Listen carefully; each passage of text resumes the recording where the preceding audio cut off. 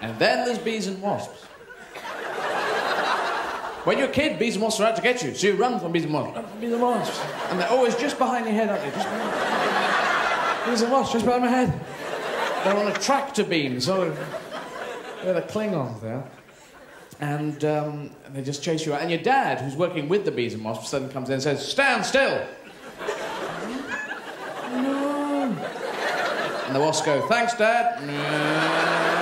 Pow!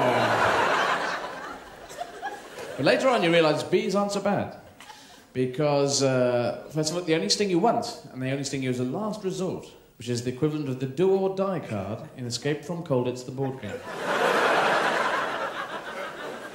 And also, they make honey, and that is an amazing thing. Bees make honey. We've known this since we were kids, so we all take it absolutely for granted. But bees are everybody red, not red, but red, uh, yellow and black, yellow and black, stripy, hairy, leggy, big ears, big ears, big eyes, big, big ears as well. But we, we leave them behind when they go out. Um, got out of that one. Uh, medium-sized wings. You know, they, they're buzzy things. So they make fucking honey, which is in your morning on your breakfasty toasty in a jar kind of thing. How did they do that? I mean, do earwigs make chutney? do spiders make gravy? What's going on? Earwigs going, get the chutney under that stone there. We make chutney all day.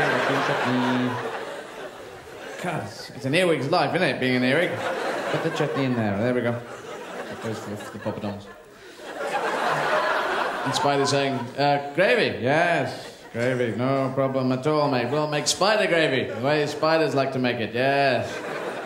Put that cube in there.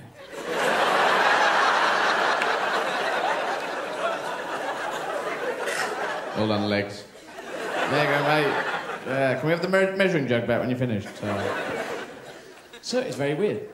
So the way actually bees make honey is they get ten bees together, they fly down to a supermarket, nick a jar of honey, bring it back. That's how. And the queen bee just gets a big knife and just spreads it in. Some sort of artist fashion in the big cones at the back.